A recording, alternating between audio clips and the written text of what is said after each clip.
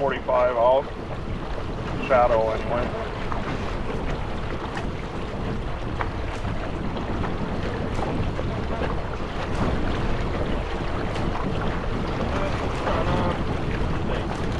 Got it. Here, Bill.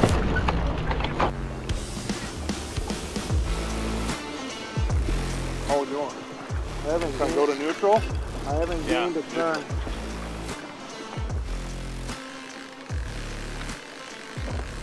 Any head shake? I, oh yeah, not right now, but yeah. Nope, first one of the night. Guess what bait? 12 inch headlock.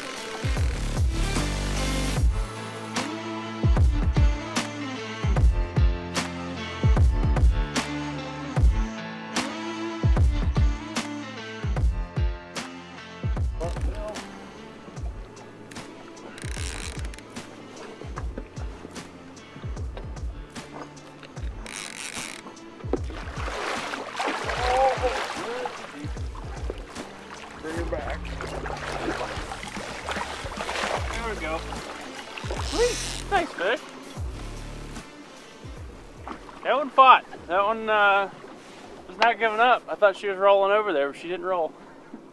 Sweet, first fish of the night though. Well, it is November. Third season of AM 1000 Cast, and third season, in third, ow, I got a hook in my hand. In third November of this bait out fishing the other baits. Absolutely ridiculous. We try not to run it, and then we put it on and we catch a fish. So, I think we'll just keep it on. You guys are probably getting sick and tired of seeing this bait in fish's faces. I tell you what, I'm not mad. There we go.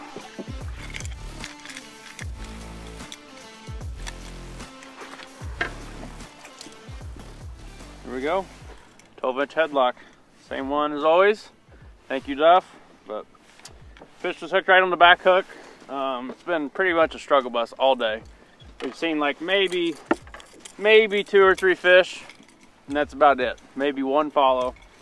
And uh, that fish, I don't think really wanted it because it was hooked right on that back hook. And actually, we marked it on side imaging. I turned the scope over and looked, and she, uh, I seen her miss it, and then I seen her come right back up and hit it again, but she didn't eat it like really aggressively. So, still don't think that they're super fired up, but we might be in a bit of a window here, so we'll get this fish out, take a look at her, and put the rods back out, and hopefully get another couple more.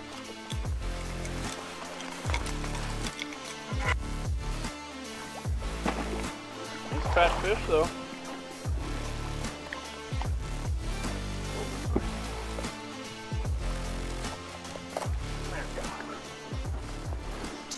Awesome. First fish of the night. Got Bill Schoepke with us from AFTCO. Doing a little bit of late night trolling now. But super, super nice fat fish. Welcome back to Mayhem 1000 Cast. Let's get her back so we can get on some more. Kind of the structure, we've seen some fish here yesterday and they were definitely were not eating. And uh, we came today and they've not been eating all day. Um, haven't even been seeing very many, but we did mark two more on the back side of this point and we marked this one as well. Went down, turned around just like we talk, We mark them. Keep that in mind of where they're at on that structure. Turn back around and get that pass right where it needs to be to bring that bait right over top of his head. It's exactly what we did. Fish bit. Got two more on the back side of the point. Let's get those.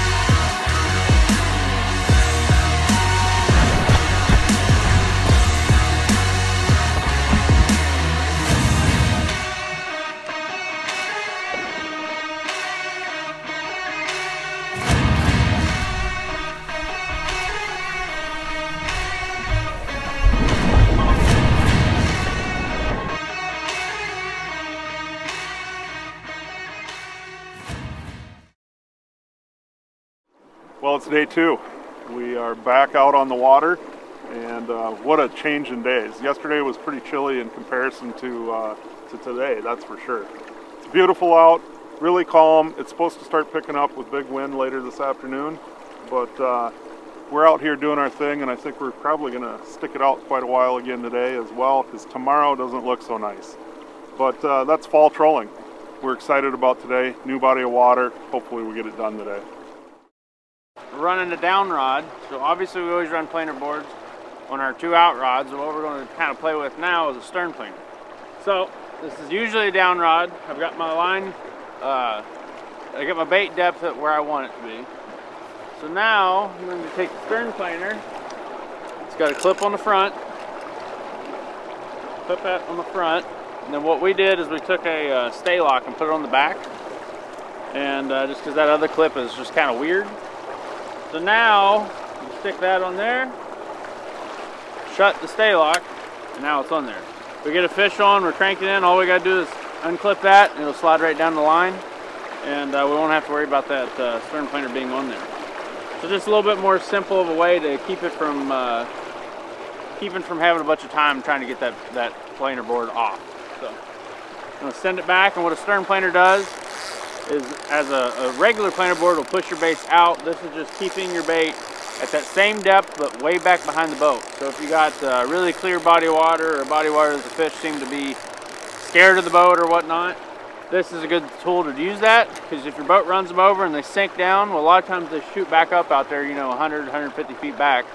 And uh, what that's going to do is now your bait is running at the right depth but it's way back there running. Whereas if you needed to let out 150 foot of line at, out, your bait would be super deep. So good way to get your bait back behind the boat and keep the fish from uh, being uh, pressured from your boat.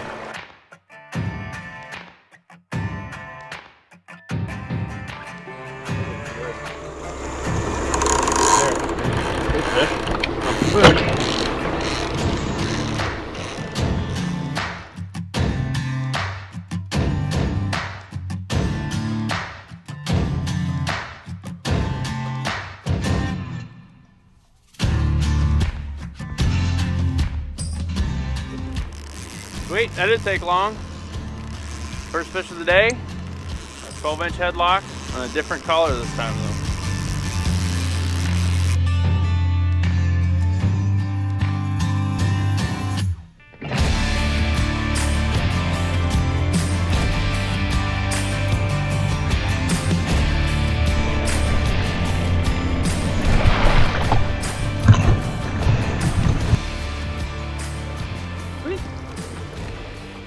Not your typical November fish, but we'll take it. Only been out for probably an hour. New bait, got it done. Well, hopefully this is the new Lucky 12 inch headlock. Team Rhino Custom, it's got the washboard sides, but it's got a gold back and purple side, white belly, gold back Cisco. Got a lot of flash, flat calm today, super sunny, so that big washboard is gonna call them in from a long ways away. Check that one out at Team Rhino Outdoors, Goldback Cisco.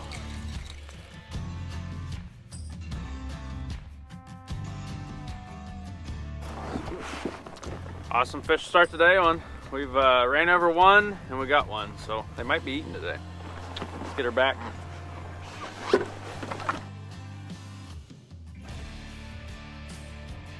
Wow, that water's clear. I could just saw her go down, I don't know, 20, 30 feet down there. Well, let's get another one. Let's get back on the program here. What do all Muskie Mayhem Tackle Pro staffers have in common? Big fish pictures.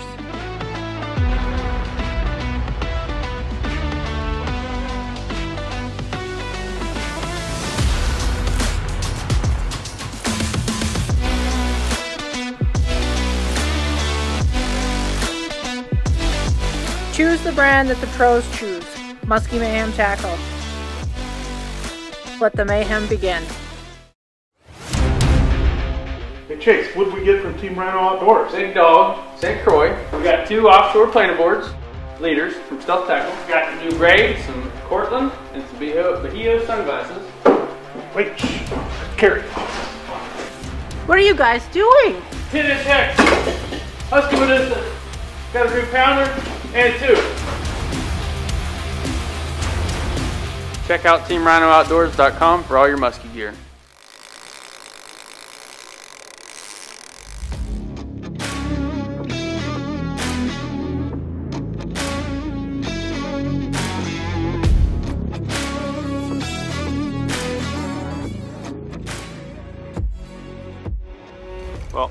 Little fish bent that hook out really bad, so I am just gonna go ahead and take that one off.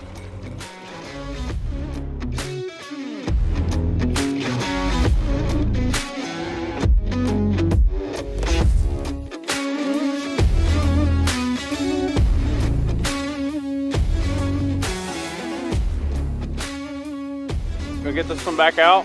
Kind of give you guys a little idea because we really have done a horrible job about that in the past. How much line we're out, letting out and everything. Um, I usually do 31 on a 12 inch headlock. Then I get my board. And if it's a mono rod, I don't wrap it. If it's braid, I do wrap it. Just like that, once is good. That just keeps that board from sliding down the uh, line. That one on. Today, with it being flat calm and such clear water, I want to make a biggest spread as I can because these fish are not, you're not going to have to run right over top of them for them to come see it. So, biggest spread as I can get without being too crazy. So, I'm doing 31 feet board and I'm doing 100. So, it's 70 feet from rod tip to the board, 30 feet from board to the bait. There we go. Lucky numbers.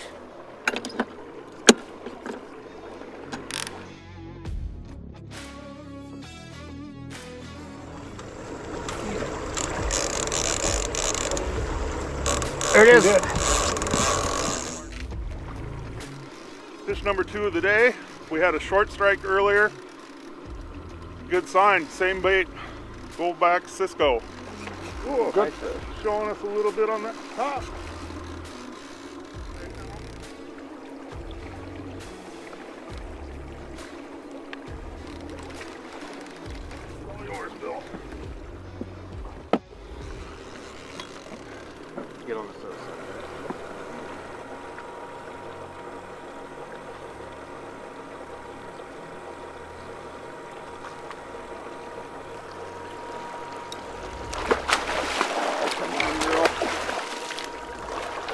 Lift, lift, lift, Bill. Pull. I'm hung up in the boat. Sweet. Nice fish. Really nice. We'll get this one on pin. Bill Schoepke from AFTCO getting the work done today. Awesome, awesome. Fish number two. It's a good one. Got it on pin. Same bait as earlier today. Goldback Cisco Team Rhino Outdoors getting the work done today awesome, awesome baits. I really, really, truly believe, especially in the sun, this foil on the side is very, very important. It's not your typical musky day. It's calm, it's clear, we're on clear water, but guess what? We're catching fish, and that's all that really matters. Have some faith in it, man. You know, the weather might not cooperate all the time, but you can't catch them from the couch, and this is how you get it done. Spend some time on the water. Great job, Bill. This one's a good one. So uh, we're gonna let Bill grab this one. We're gonna put her on the bump, the old musky bumper. Let's take a look, Bill. Awesome, awesome, Bill. Good work. What do we got? 49 and a quarter. Oh man, that magic number 49 this year. We've gotten so many nice 49s this year, but what a thick, beautiful fish. Awesome work, man. Beautiful. Great job. Let's get this one back and see if we can't find a few more.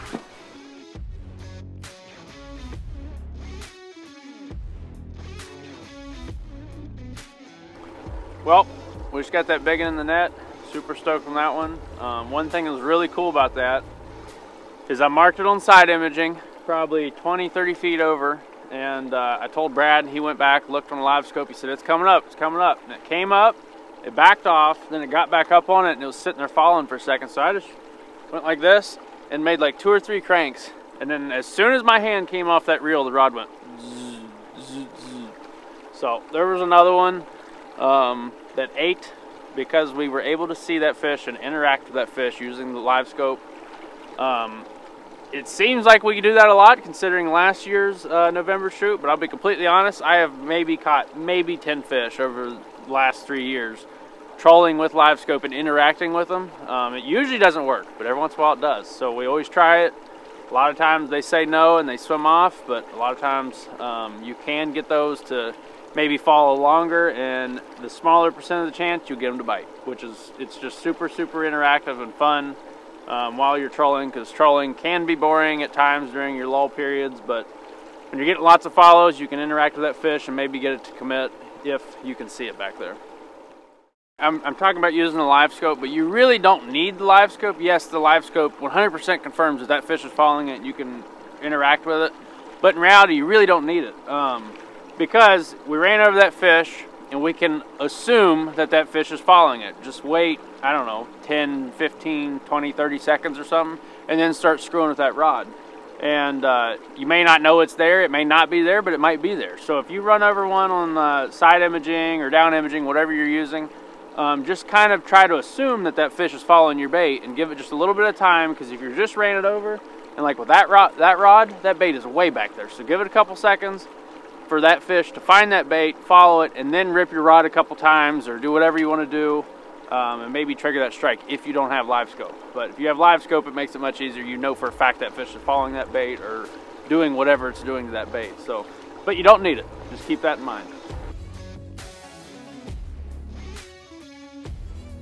Well, we just interacted with another one. Um, Bill was down on that rod, doing a little bit of ripping, let a little line back. She'd close the gap, she kind of hung there, just wouldn't commit. She followed a long, long ways, but uh, again, another great example of interacting with these trolling fish. Pretty cool stuff. Muskie Bumper, measuring fish since 2008. Muskie boards that come in three different sizes, left and right-handed variations. They measure accurately up to 60 inches. Stainless steel hardware, lightweight and durable, and they float.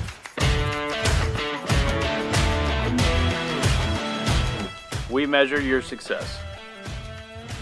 Find us at muskiebumper.com. Magnum Ventures Inc., a woman owned company, has you protected when it comes to snow, sand, and wind structural fencing products, providing residential, commercial, governmental, and Department of Transportation options for superior property and roadway protection. Proudly made in the USA, Magnum Ventures Structural Snow Fence reduces the drifting and icing of roadways, decreasing the number of accidents and the need for roadside assistance.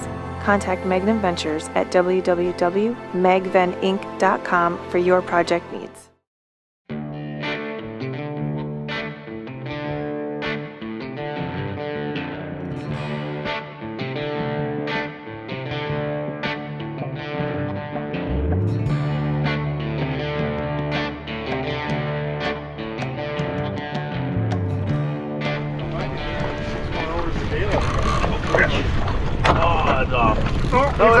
Is it? Good job, Bill. Can't quite tell how big this one is, but we're going to find out in a minute.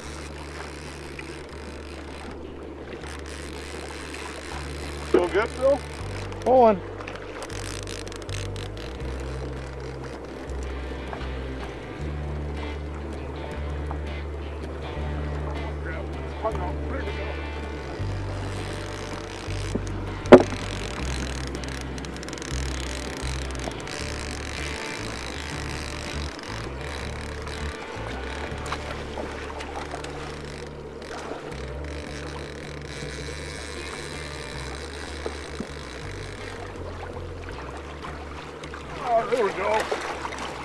Nice.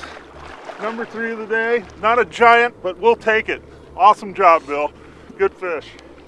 Same bait. I don't know, two, three hours later. We've had some other action with them coming up and following, but this is better yet when they're in the bag. Well, Chase. Fish number three on the old Team Rhino, Goldback Cisco. We're not going to complain about that. I think we've got a new special bait in the boat. Obviously works. Good job on that color, Jeff. Awesome. Headlock 12 inch. Hard to beat that. Three fish in one day.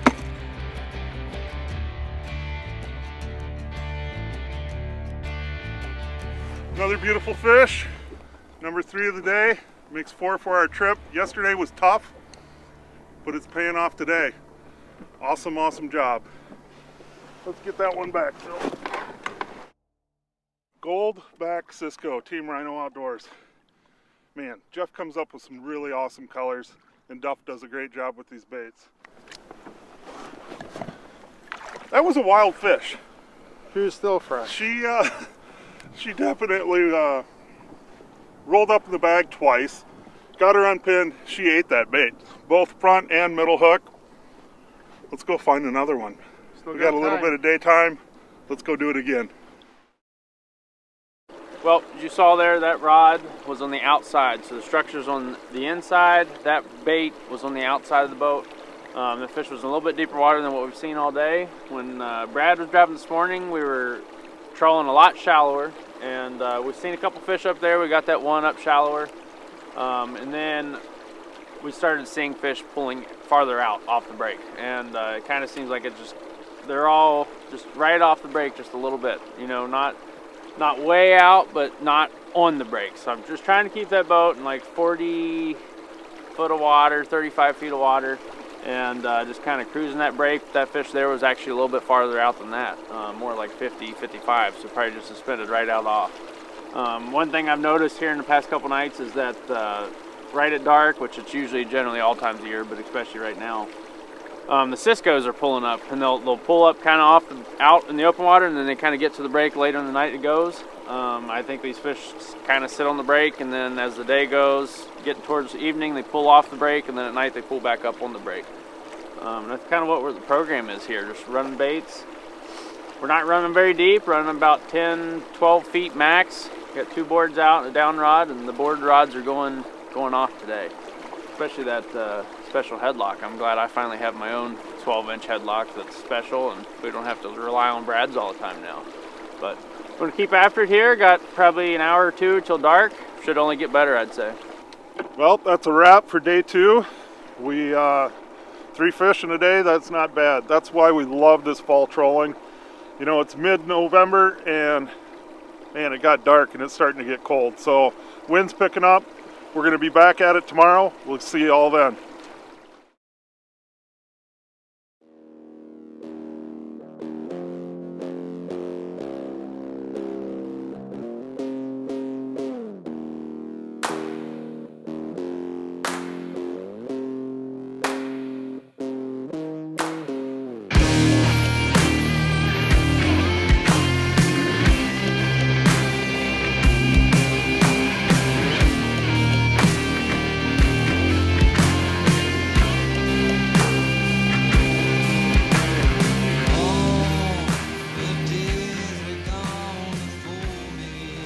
Grenade fish trolling, day three.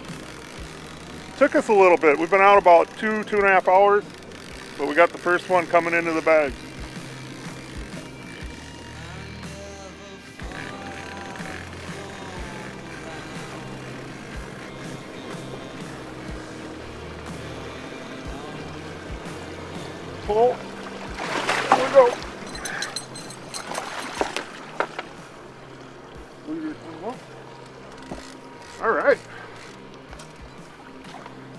Grenade fish, kind of cool to see one getting trolled up. Got the work done today, and uh, let's get her unpinned. Didn't need pliers, I guess. All right. Cool thing about it is it was on that front hook. So, I got to watch that one eat on the live scope. She came shooting up right away and it looked like she was going to eat the back end of it, but hey, right on the front hook, they're head hunting, that's for sure. Monster grenade, five skirts on it, has an added three quarter ounce weight on the tail, and the reason for that is when you're casting it with the heavy head, you want that bait to kind of lay out and stretch out as it's hitting the water, which will allow you to not have any foul cast, and then number 10 blades on the back end. So, good stuff. Let's take a look at a fish.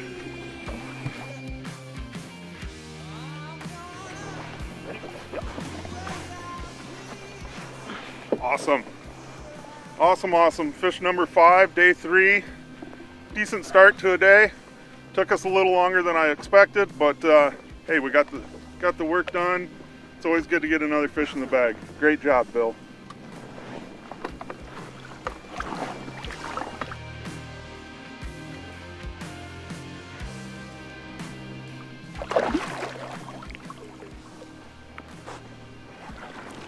Awesome, awesome. You kind of are good luck charm here. We're getting some uh, getting some fish. It's been fun. A little bit slower. I don't I don't know what the deal is today so far. Like I said, it's been about two and a half, three hours, but a little bit different day. It's supposed to be really warm today again, but we got a little bit more breeze. The wind kind of changed directions. We've had some partly cloudy, but main thing is we're back on fish. Let's go see if we can find another one. Well, it's uh, getting a little bit later here. We had the one fish on the grenade, and we have not marked a fish since. Um, from what we've heard from other people is that today has not been good. We're going to keep after it here, and uh, we are going to a new area of the lake, a new basin that we haven't touched yet. So just need to find one more big bite is what we're hoping for, so I think it should be good. Well, Bill, I want to say thank you for joining us on this shoot. Last one of the year, got it all wrapped up five fish in the bag. Today was a little slower than I would have liked to have seen, but hey, we got one in the bag and, and that's solid good trolling for November, that's for sure. It's always great to be on the water this time of year and have an opportunity at a big fish, and we did get one. Absolutely. It was a good time. We really enjoyed fishing with you.